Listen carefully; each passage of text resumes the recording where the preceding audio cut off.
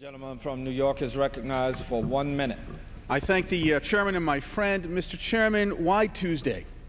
Why do we have federal elections on Tuesday?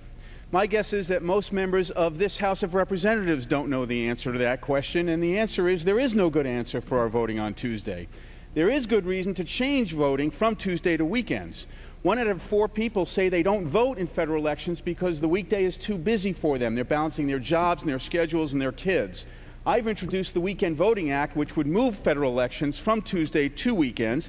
And I want to thank the chairman of this subcommittee for including language that I had proposed uh, in this bill directing the GAO to conduct a study on the cost, benefit, uh, and uh, analysis of weekend voting. That study is going to answer the question, why Tuesday? But more importantly, it's going to answer the question, why not weekends? And lead to the empowerment of the American people. We ought to make it easier for people to vote in federal elections, not harder. I thank the gentleman. I yield back the balance of my time. Yields back his time.